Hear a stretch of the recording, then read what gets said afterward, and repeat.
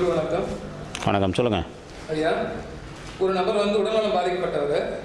மருத்துவர்கிட்டலாம் போயிட்டு சிகிச்சை செஞ்சு பார்க்குறாங்க ஆனால் என்ன சிகிச்சை பண்ணாலும் வந்து குணமாகறதில்ல அந்த மாதிரி குணமாகாதவங்க வந்து இந்த மாந்திரீக கலையால் குணமாக்கப்பட முடியுமா?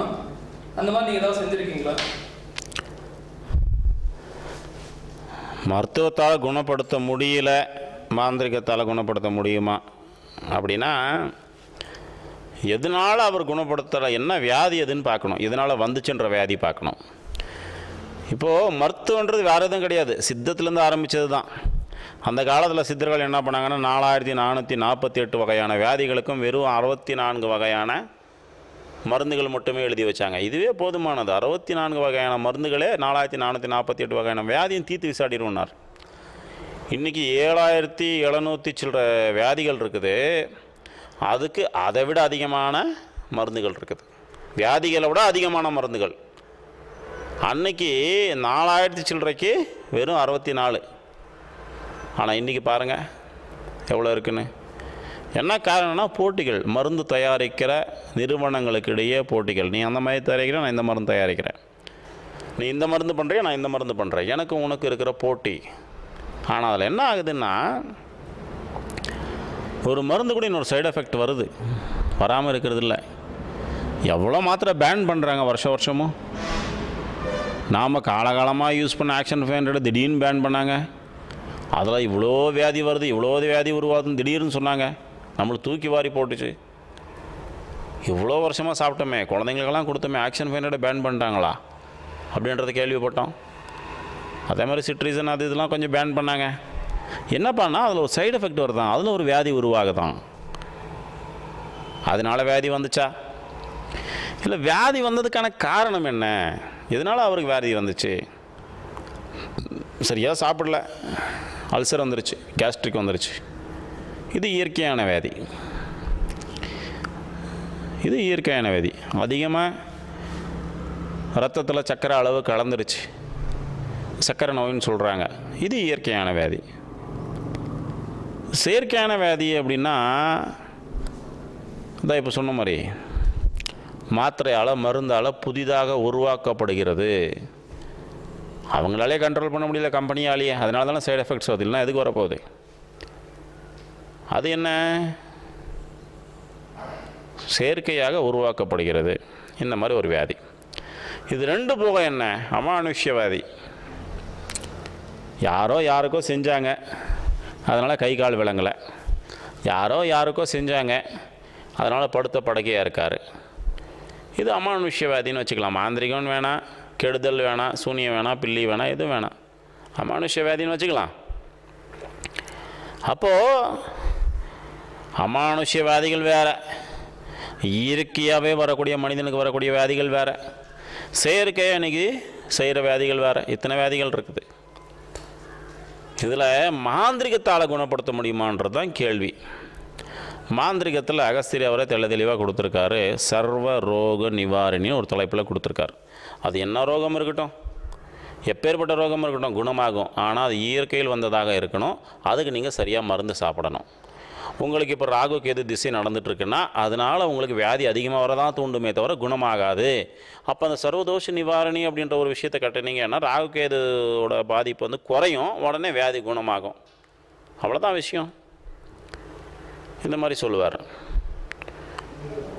அந்த மருத்துவத்தாலேயே மருந்தாலேயே ஆங்கில மருந்தால் இன்னொரு மருந்து இன்னொரு வியாதி உருவாக்கப்பட்டுச்சுல்ல? அதுக்கு ஆங்கிலத்தில் தான் மருந்து. ஒருவேளை சித்தத்தில் இருக்கலாம். ஆனால் கண் கட்டப்புறம் சூரிய நமஸ்காரம் மாதிரி ஆகிடும் வியாதி வந்த ஸ்டார்டிங்லேயே முடிச்சுட்டா ஈஸியாக முடிச்சுட்டு போயிடலாம். இப்போ அவ்வளோ பெரிய வாதி வந்துச்சு நாட்டில். டெங்கு கொஞ்சம் யோசிச்சு பாருங்கள் பிளேட்டட் செல்ஸ் லெவலை வந்து இன்க்ரீஸ் பண்ணுறதுக்கு அதிகப்படுத்துறதுக்கு வேணால் இங்கிலீஷ் மெடிசன் யூஸ் ஆகிருக்கலாம் வராமல் தடுக்கிறதுக்கும் வந்ததுக்கு அப்புறமா குணப்படுத்துறதுக்கும் சித்த மருத்துவம் மட்டும்தான் யூஸ் ஆச்சு. நான் இப்போ டாபிக் அது இல்லை மாந்திரிகம். மாந்திரிகத்தால் வந்த ஒரு வியாதியை கண்டிப்பாக மாந்திரிகத்தால் ஜெயிக்க முடியும். மருத்துவத்தால் ஜெயிக்க முடியாது. இது நான் ரொம்ப கேஸ் நான் பார்த்துருக்கேன். மாந்திரிகத்தால் ஒரு கை கால் இழந்து போயிடுச்சு. அவர் இருந்து ஹாஸ்பிட்டலில் போடுறாங்க. எவ்வளவோ சுற்றி பார்க்குறாங்க. முடியல. கடைசியில் கொண்டு வராங்க. மாந்திரியத்தில் ஒரு நாளில் குணப்படுத்திடுறாங்க. இது நடந்திருக்கு. என்கிட்ட ப்ரூஃப் இருக்குது ஒரு அம்மாவுக்கு குழந்தை இல்லை. எவ்வளோ வருஷமாக எங்கெங்கே எங்கெங்கேயோ சுற்றிருக்காங்க எங்கே சுற்றியும் குழந்தை பிறக்கலை. எங்கே சுற்றியும் நடக்கலை. எல்லா மெடிசன்ஸும் பார்த்துட்டாங்க கடைசியில் மாந்திரிகத்துக்கு வந்தாங்க. ரெண்டாவது மாதத்துலேயே குழந்தை நின்றுச்சு இது மாந்திரிகத்தால் வந்த வியாதி. ஒருத்தருக்கு மனநலம் பாதிக்கப்பட்ட மாதிரி இருக்கார். தலை குனிஞ்சு போட்டே இருக்கார். கிருஷ்ணகிரி பக்கத்தில் இருக்க குப்பம் அவரது நகரம். எவ்வளோ ஹாஸ்பிட்டல்ஸ் பார்த்துட்டாங்க அவங்க தாய் அந்த வியாதியாலே இறந்துருந்தாங்க. எவ்வளோ ஹாஸ்பிட்டல் பார்த்து குணமாகலை? வந்து உக்காந்தாங்க. ஒரு நாளில் குணமாயிடுச்சு. ஒரு நாளில் குணமாயிடுச்சு. இங்கே? இங்கே குணப்படுத்தணும். ஆதாரம் இருக்குது ஒரு பெரிய ஆஃபீஸர் ஒருத்தர் அவருக்கு கேன்சர் இருக்கிறதா வந்து இருக்கிறதுக்கான அறிகுறி இருக்கிறதா வந்து மெடிக்கல் ரிப்போர்ட் வந்துடுது அந்த மெடிக்கல் ரிப்போர்ட் வந்ததுக்கப்புறம் அவர் இங்கே வராரு. நான் சொல்கிறேன் இது மாந்திரிகம்ப்பா இது இல்லைன்றேன். நம்ம சிஷ்யர்களை வச்சு குணப்படுத்துகிறேன் உடனே குணமாயிடுச்சு. ஆதாரம் இருக்குது. அதாவது வியாதி வர்றதுக்கு முன்னாடி இருந்த மெடிக்கல் ரிப்போர்ட் வியாதி வந்ததுக்கு அப்புறமா இருக்கிற மெடிக்கல் ரிப்போர்ட் ரெண்டுமே இருக்குது நான் சொன்ன அத்தனை விஷயங்களுக்கு ஆதாரம் இருக்குது. இந்த மாதிரி நூற்றுக்கணக்கான வியாதிகளை நான் குணப்படுத்தியிருக்கோம். ஆனால் மாந்திரிகத்தால் வந்தது. மருத்துவத்தால் வந்தது கிடையாது. மாந்திரிகத்தால் வந்த வியாதியை நூற்றுக்கு நூறு சதவீதம் மாந்திரிகத்தால் குணப்படுத்திட முடியும். ஒருவேளை அது இயற்கையாக வந்திருந்தா கூட மாந்திரிகத்தால் குணப்படுத்த முடியும். ஆனால் மருத்துவத்தால் வந்திருந்தா முள்ள முள்ளால் தான் எடுக்கணும். அது செஞ்ச வேணால் அதால் தான் எடுக்க முடியும். கெமிக்கலாலாம் வந்த வியாதி அது. நாமளாக சம்பாரிச்சுக்கிட்டது. இது சாப்பிட்டா இதோட எஃபெக்ட் இதுதான் தெரியும். தெரிஞ்சும் சாப்பிட்றது. எத்தனை நடிகர் நடிகர்கள் இறந்து போகிறாங்க ஸ்கின் க்ளோ ஆகணும் அப்படின்றதுக்காக மருந்து சாப்பிட்டு. ஆனால் நம்ம கள்ளமாவும் பைத்தியமாவும் போத்த காலத்துலலாம் நல்லா தானே இருந்தோம். இன்றைக்கி எங்கே இருக்காங்க அவங்கெல்லாம் அவ்வளோ அழகானவங்க இன்றைக்கி இருக்காங்களா?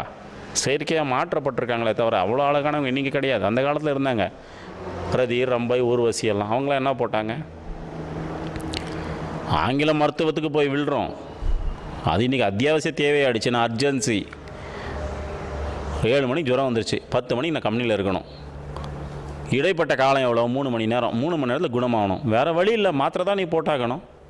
சித்த மருத்துவத்துக்கும் போட்டால் குணமாகாது? இல்லையா? அந்த மாதிரி ஆயிடுச்சு.